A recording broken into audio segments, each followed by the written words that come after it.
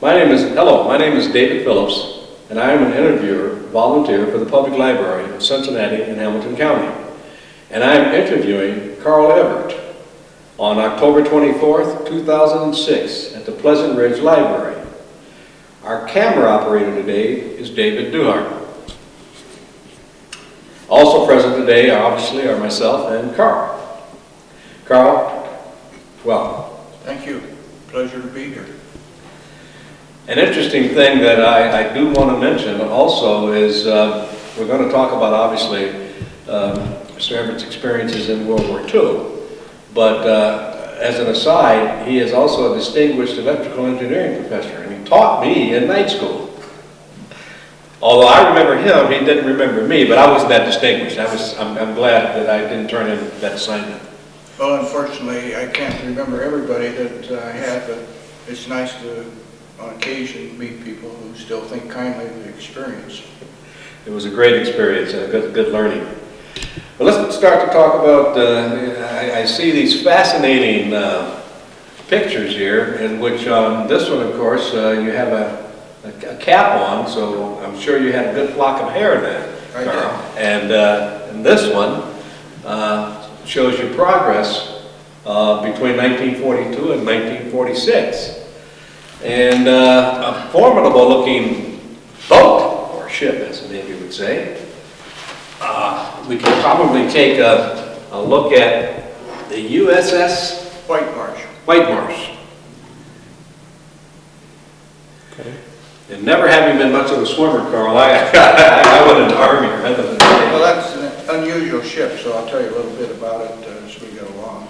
Okay. Uh, if you're interested where I was when the war started, yes, I was a kid running around the hills of Lawrenceburg, Indiana on a Sunday morning.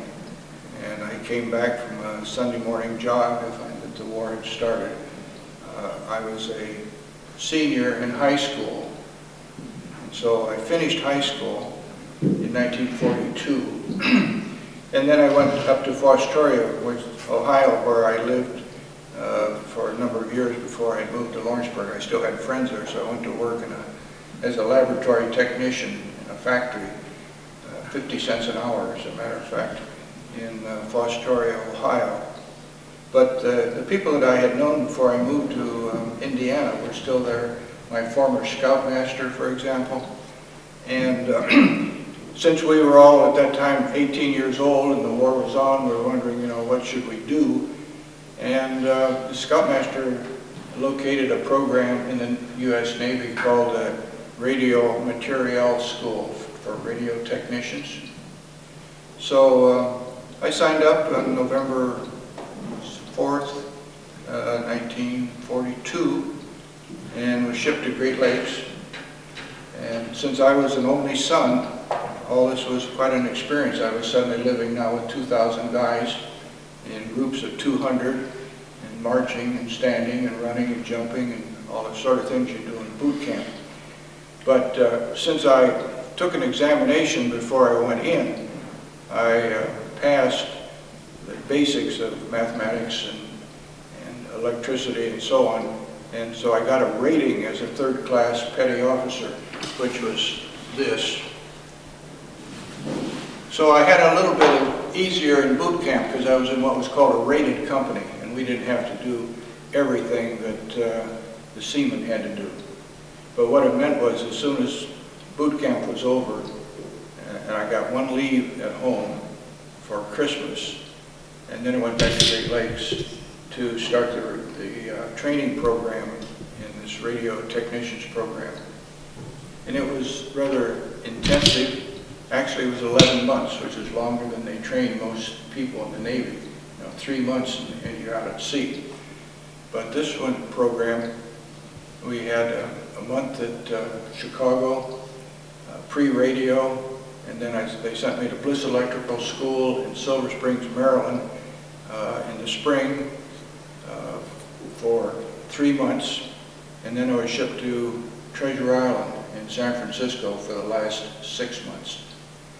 And in San Francisco, it turned out that this wasn't just radio training, it was radar, which was very secret at the time to the point we couldn't uh, say the word when we were off the base It was that new. They, um, we had notebooks, for example, that were locked up in the safe every night when we finished our work. So when I finished the training in, at uh, San Francisco, it was about Christmas of the next year, and I had to wait then for a month or so to be assigned to a ship. I chose to go into the fleet rather than uh, aircraft, which was another option. I, I've been would have been trained in Texas, but uh, I decided to go into the fleet in the South Pacific. So they assigned me to this ship, which is called a landing ship dock. And uh, you could open up the tailgate of that ship and bring in 18 tanks uh, in small tank lighters. So the job was to, my job was to prepare the radios and take care of the radar. And up at the top of that mast was the radar that I had to crawl up the mast to take care of.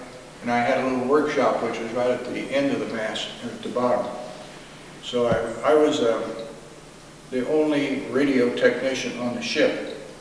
And when I went aboard, as uh, I made second class out of uh, the radio school, radio materials school. And when I went aboard as a second class, the executive officer saw these stripes on my shoulder and assumed I was a radioman, so he put me in the radio shack to copy code. And I had to tell him, I don't know how to copy code.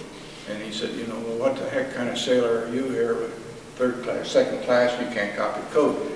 So I had to explain to him what a radio technician was, that we took care of all the equipment, etc. But that didn't satisfy him that that was a full-time job, so he signed me to be the mailman. So I had a branch of the New York Post Office in the bowels of that ship for two years. And there- parts of it was kind of interesting because on payroll day, everybody bringing money into me and I'd make out money orders for them to send home. Then I'd give the money to the payroll officer and the next time it was payday, he'd use the same money and pay him over again with, with the same money.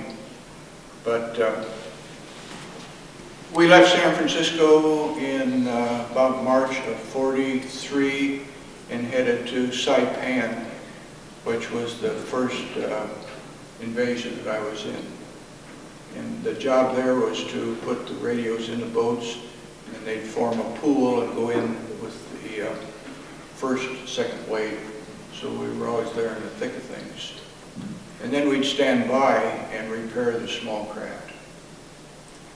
Uh, We went from Saipan through several other islands in preparation for the uh, Philippines. And in supplying the Philippines, uh, we went to New Guinea and picked up troops, took them to the Philippines. So I was in uh, Saipan, Tinian, Peleliu, and two invasions in the Philippines. All in the same boat? uh, Yeah, same, okay. yeah, it was the only ship I was ever on. And ended up at Okinawa the last uh, 30 days off Yontan airstrip. And for the stars that are shown there in the ribbons, we shot down 13 Japanese planes while we were sitting there like sitting ducks in Okinawa. So, finish the narrative, and then you can ask some questions if you want. Uh, About the time we've been over for about two years, we were due to go back and be repaired and get resupplied for the invasion of Japan. And on the way back, by that time I was promoted to a chief petty officer, so I was kind of living it up a little bit. But uh, on the way back, they dropped the atomic bomb, which ended the war. So I was in San Francisco the night that the official war ended, and it was bedlam. Uh, But they sent me to uh, RAN school, which is long-range uh, navigation.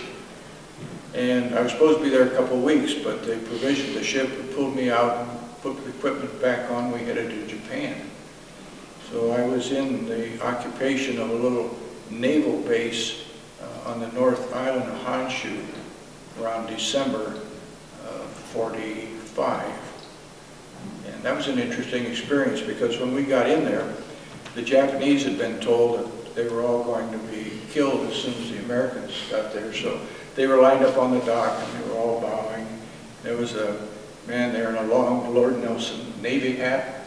We thought we captured an admiral. The turned out he was a fire chief in the town. Had one little beat-up fire engine. But the um, thing I found remarkable about that was that within about two weeks, uh, the Japanese were waving, and we waved. and I took some hikes up in the mountains and stuff like that. As soon as the war was over, the Japanese just seemed to have forgotten the whole thing. We um, occupied this naval base and uh, had a friend, a Texan, that wanted to make some uh, bridle for his horse. He didn't have any aluminum. So we sawed the propeller off a Japanese plane and we had plenty of aluminum for that, for that sort of thing. And brought back a couple of souvenirs. And uh, was discharged in Great Lakes again as we, we came back to San Diego and made another trip to uh, Great Lakes and was discharged. So that's it in a nutshell. That's a pretty good nutshell. Well, it was an interesting experience. I don't know how much more you want to elaborate on it, except that one of the good things that came out of that, A, was the experience, but B, was the GI Bill, and I took advantage of it. And uh, when I came back, I went to Purdue and got my bachelor's and master's degree in four years on the GI Bill. And then when I came to UC and started teaching in 1950. So I stayed there until essentially 19 1978 and did some other things. So do you have any questions as to how a ship like that works? There's lots of interesting tales. I got some questions, uh, taking back to the beginning of when you tested into uh, radio school. I mean, fundamentally, when you joined the Navy uh, and, and took the normal entrance test, apparently you had been a pretty good high school student also. Yeah, I was, I did okay in high school. Uh, there were two ratings, actually. There was third class and second class. And uh, I apparently didn't score high enough for second class, but I made that before I left the formal training school. And the fact that you went to school for 11 months, it was was a pretty critical skill. It it was, uh, and there weren't many of us in the fleet at that time, so aboard ship, I was the only technician that did that work. And as a consequence, uh, I pretty much made my own schedule, which is unusual for somebody in the Navy. I didn't have to stand any watches because the executive, the executive officer thought, uh, not knowing exactly what I was supposed to do, that I could also uh, be a radar man, which watching the scope go around and so on. So I had to convince him that uh, if I was doing that, I couldn't be doing the maintenance that was required on all the equipment that I was responsible for. So he finally relieved me of that responsibility as long as I was the mailman. And uh, so I didn't stand a watch until I, from boot camp till I was a chief petty officer and had quarterdeck watch with the other chiefs. What were some of your anxious moments on, uh, at, at that young age, how did you recognize how important your particular skill was to the, to the ship? I mean, you, you you were the communications guy. Uh, Did you ever have any, and since you were the only one uh, that knew what technically was Yeah. required, did you have any moments of panic or anxiety or any crises that, that only you knew about? Well, there was a backup system. If you happen to be in a port, for example, with the radar equipment, there were some civilian technicians from Raytheon that could come aboard and give you a hand. If you were in port? Yeah, if you were in a port or dock someplace. I only had that kind of helped once with the main radar system, otherwise I took care of it. Uh, One experience I had that indicated that was a little unusual. We have a, there was a device for decoding information that came into the Radio Shack. It was a secret decoder, but everybody knows how they work these days. There's a number of rotating wheels, and you press a a type key down, and these wheels would whir, and then another letter would print, and the wheel, the wheels were all changed, etc.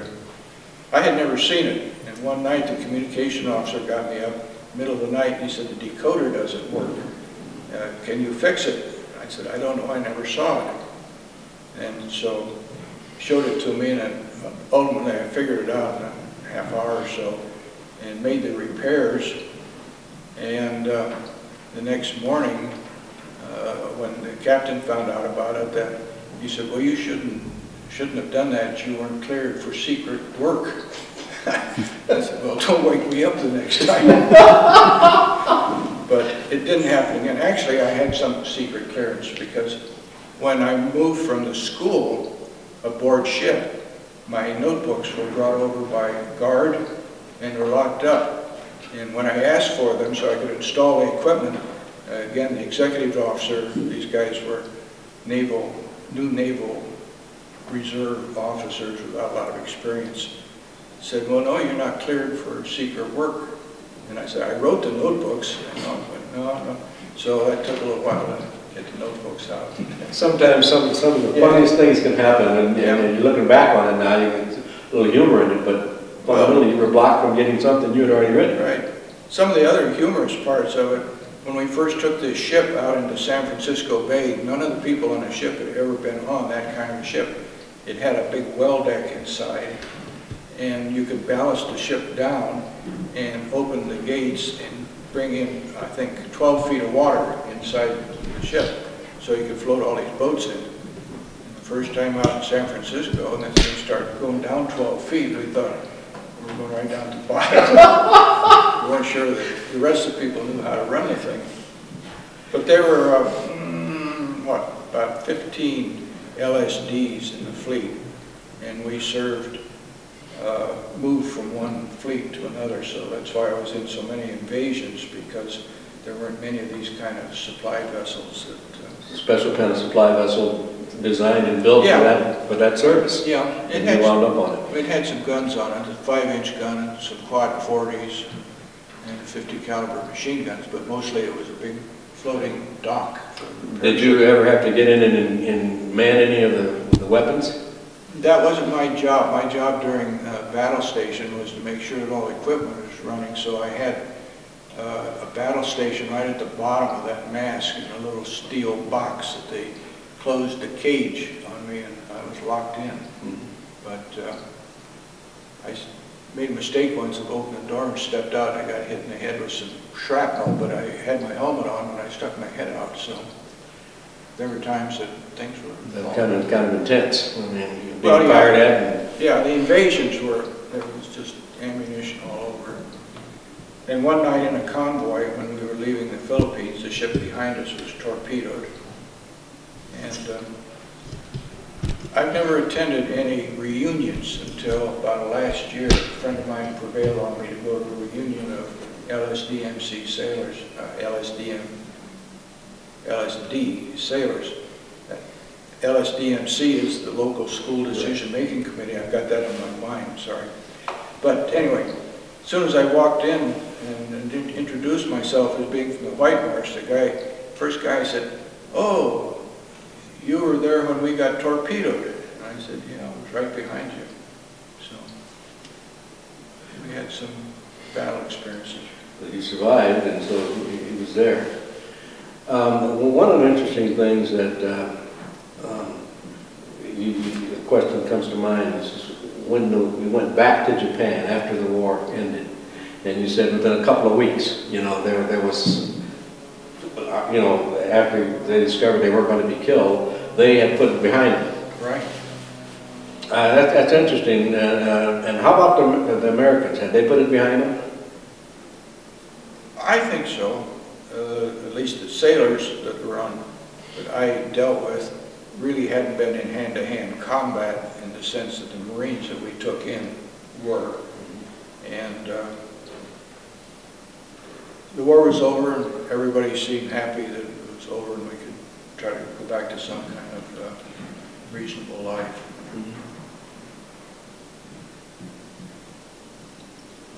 How did you, when you were in that little steel cage, as you said, you know, you stepped out once and got hit with shrapnel, when all of that uh, bombardment during the invasions was, was, was going on, uh, as you, as you think back, you're a young man, you know, at that time, any kind of thoughts flash through your mind, uh, worry, concern, uh, adrenaline? I mean, what, what kind of emotions were you experiencing in, in, in your Well, it was a very dramatic experience, at least the first bombardment, for example, on Saipan. because they started with the aircraft bombing the island real early in the morning, and we came in the night before and began unloading boats all night long, getting ready, so at dawn, we were ready to go ashore. So it was, I don't think I suffered from fright because everybody else was doing the same thing. I think when you're in a situation where everybody's moving together, you don't really think about individual things. I had to go into the small boats and uh, install the radios and and so on, but I wasn't any more danger than anybody else. Inside the uh, repair uh, shop that I had at the base of the mast, uh, I couldn't really know what was going on. I could hear an awful lot of shooting and so on, and, uh, but there was secret equipment, uh, identification, friend or foe equipment in there. Then I had orders if the ship was hit, that I had to blow it up before I left. So that was part of my responsibilities to destroy the secret aspects of the equipment on the ship. But uh, I don't really feel, or remember any particular feeling of fright other than just, uh, it was a job that everybody was doing. I felt more concerned about the guys who were up here in the front end shooting that five-inch gun because there was a few seamen that, as soon as the gun fired, these big five-inch cartridges would come out. These guys were in asbestos suits and they had to catch them as they were rejected. So I thought, I got a pretty good job. All things considered, huh? Yeah, but all things considered, it was, uh, Before you went back to Japan, when you landed in San Francisco and the war had ended because of the, the A-bomb, uh, you said it was bedlam, you know, was it just kind of a lot of, lot of partying, uh, just happy, uh, people coming together? Well, it was wild scenes on the street. I don't know if you've ever seen the newsreels of the night after the day that the war ended, either in New York or San Francisco. It was just pandemonium. And of course, it was uh, full of sailors in San Francisco, and everybody was having parties, and uh, it was pretty wild. As a matter of fact, uh, I went back to the ship about midnight because it was just getting not really very safe on the streets, so I thought this is kind of silly, so I just went back to the ship. Um, Later on, I've had, as a professor, I've had opportunities to travel in Japan, and um, I taught three summers in India, and on my way I stopped in Japan. And one Sunday morning, I was taking a train from Tokyo to Nikko to see the shrines, and like most Japanese at that period, learning English, they want to practice their English. So there's a young man on the train who uh, said to me, uh, have you ever been in Japan before? And I thought, well, let's see how friendly the people are. And I said, well, only after the war when I was here in the occupation. And didn't phase him a bit. The more we talked, he wanted me to get off the train, go meet his family and all, all sorts of things. They're uh, very resilient people. They are. I was impressed. They are. Well, you've had uh, the, the battle time, you know, as well as the technical time, you know, in the, military. It uh, provided a good basis for what I chose to do as a professionally when I left. The training that I had in the Navy gave me about six months of uh, college credit when I went to Purdue, and that helped a bit. Why'd you pick Purdue? Because uh, the end of the war, so many people were returning and going on the GI Bill, the schools were absolutely mobbed. I wanted to go to MIT, but the arrangement, arrangements at MIT were that you had to go take an entrance exam, and if you didn't pass the exam, you didn't get in, and it was too late to go anyplace somewhere else. And I was a resident of Indiana, so I wrote my father, and he had uh, uh, requested registration at Purdue resident. So I got out of the Navy in January, and uh, by the 1st of February, I was in college. With four guys in a little bitty cubbyhole, uh, a room uh, on the third floor of Cary Hall. Uh, But some of the, it was so crowded in those days that some of the veterans returning were sleeping in the gymnasium, with just foot lockers. But they were enrolled. Yeah, they were enrolled, and we were in Quonset huts and so on, but as time went on, of course, the uh, housing improved, classrooms improved. But it uh, was a kind of a cadre of people. I was older than the college students at that time, so I really didn't have much social life in college. In fact, the veterans who were back sort of looked down their noses at college kids. We were there for a different purpose. And More so mature. you really didn't, uh, some of us at least, didn't participate in all of the football games and basketball games. By that time, I was pushing 25 and ready to get out and make a living. Your parents were still in Lawrenceburg? Yeah, they were in Lawrenceburg uh, during that time. Um, Later on, they moved to Georgia. I only came back to Cincinnati as a kind of coincidence, that when I finished uh, at Purdue, there was a notice on bulletin board at Purdue saying that they wanted an instructor in electrical engineering at UC. So I stopped in on a spring vacation and went in to talk to the uh, head of the department. And I, I don't know how familiar you are with universities these days, but become a university professor or an instructor, there's a tremendous rigmarole of interviews and so on. In 1950, I stopped in and talked to uh, Bill Osterbrock, who was the head of the department. And uh, then I went back and I uh, finished the spring work. And about graduation time, I got a call from him, and he said, "Are you going to be my boy?" And I said, well, you offered me a job? And he said, sure. Uh, And by that time, I had an offer from the National Carbon Research Laboratory in Cleveland to come. And the salaries were exactly the same, and I was getting married, so we talked it over and decided maybe spend our time in the university. But the salary, 1950, with a master's degree, like the University of Cincinnati, full-time instructor, $3,600 a year. Wow. And that was the same as in, in a research lab in Cleveland. So I got married on $300 a month. You made it work. Yeah. So you came to Cincinnati started at the university, instructing, in 50. How old were you then? Mm, what, 50, I was about 26.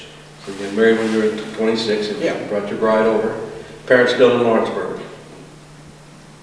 While I was teaching, uh, there were some nice opportunities. Um, I had a chance to go to uh, India for three summers in Madras, at the University of Madras, under U.S. aid.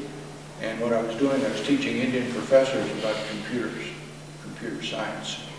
And uh, that was a group of Indians from all over India. And the only thing we had in common was we all spoke English of a kind. It was really quite different. Then I had an opportunity to spend the summer in Romania at the Bucharest Polytechnic Institute that was under UNESCO, which was an interesting experience.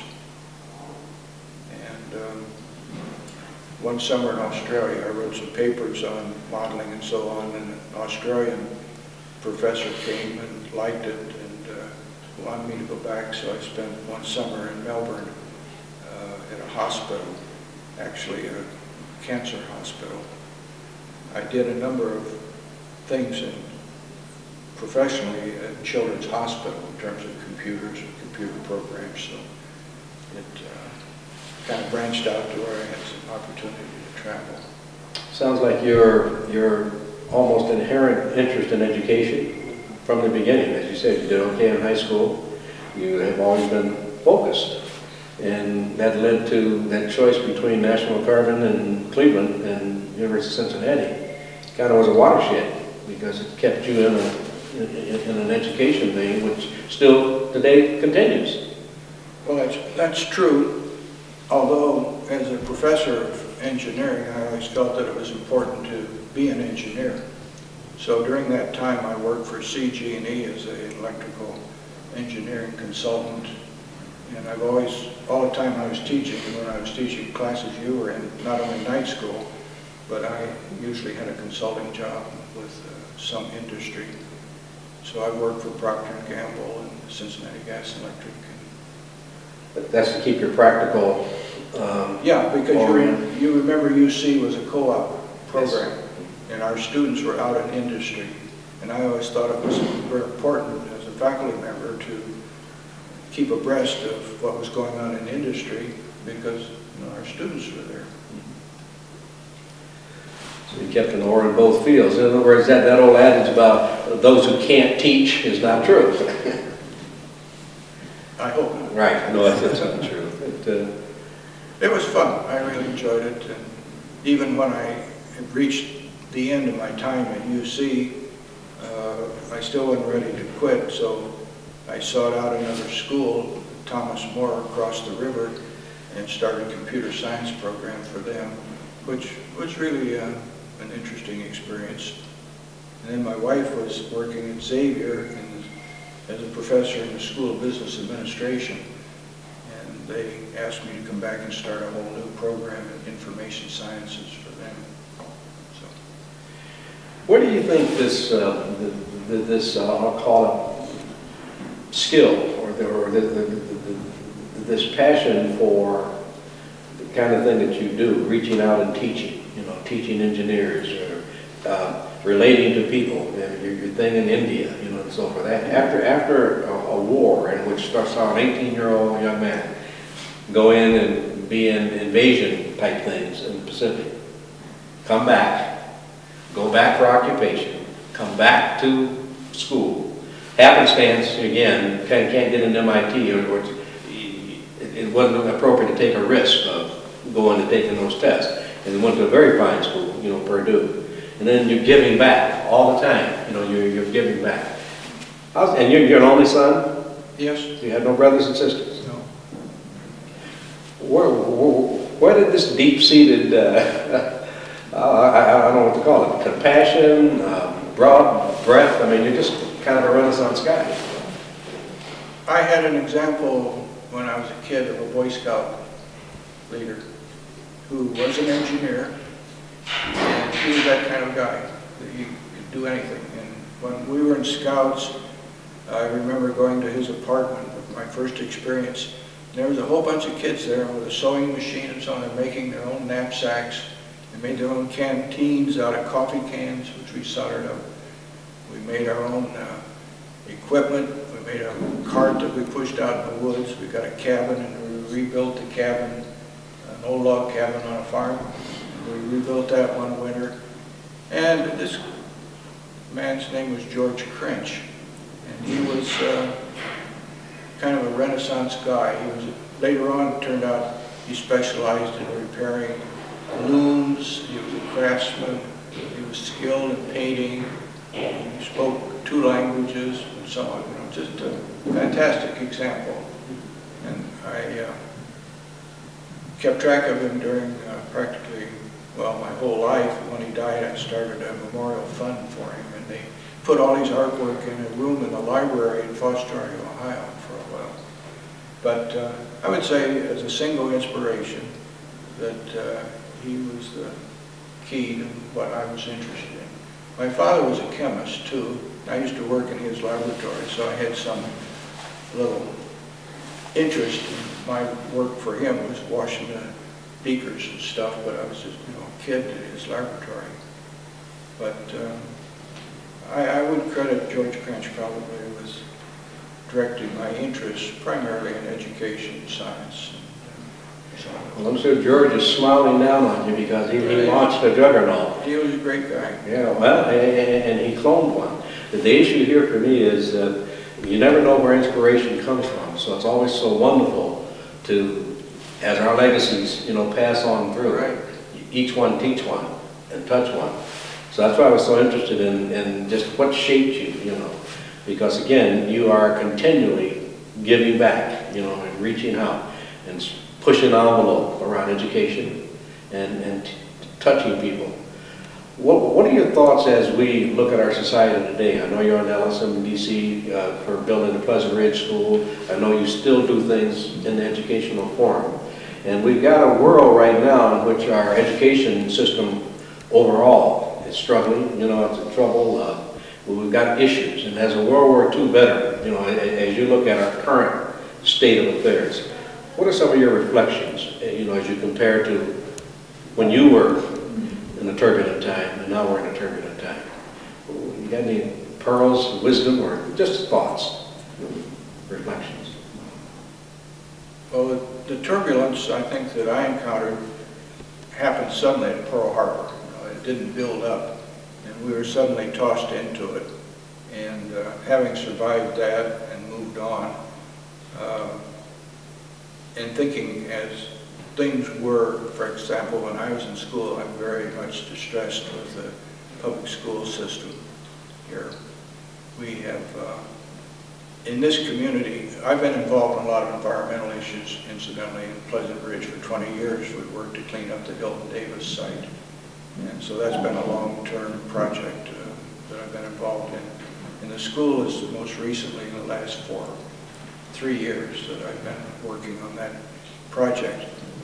But I, I think what happened when the demographics of various communities changed, and certain elements fled, that everybody else went to sleep. And my wife and I have lived here in Pleasant Ridge for 50 years. We came to Cincinnati and we lived over by the stockyards and off Hopple Street till we got enough money to buy a house in Pleasant Ridge. Our children went through Pleasant Ridge School, and public schools. And in those days, the public school was essentially an exemplary school. Woodward had uh, uh, AP courses and stuff like that. Uh, Then demographics began to change and people fled. And I think everybody went to sleep and the schools deteriorated. I've just been making a review since the year 2000 of the grade records of the Pleasant Ridge School.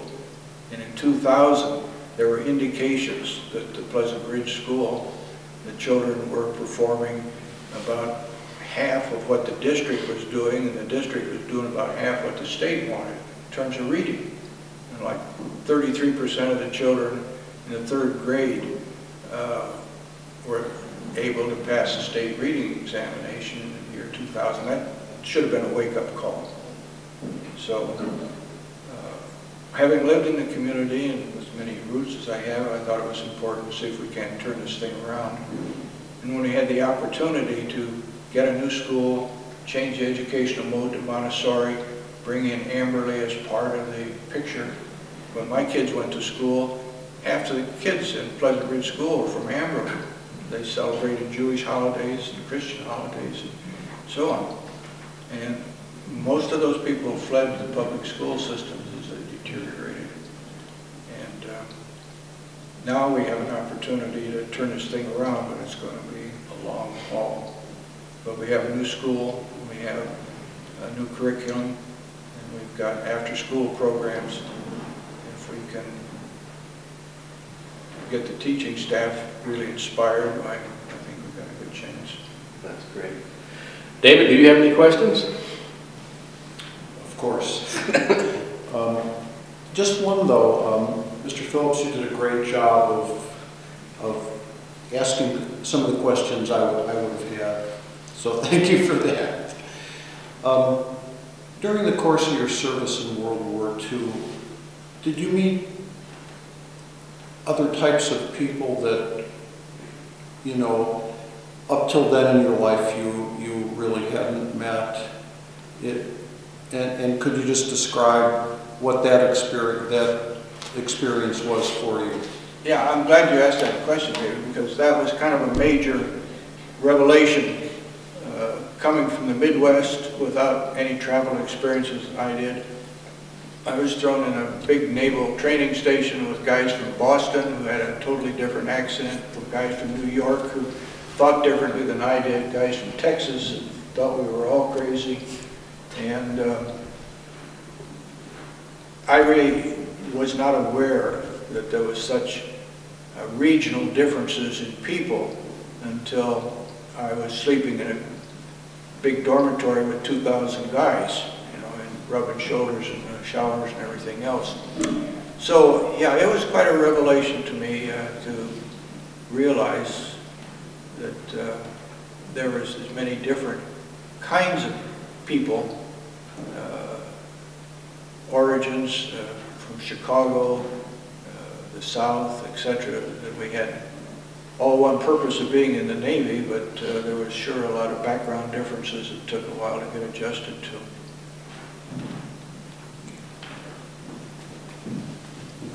Thank you very much. Yeah. Well, thank you both.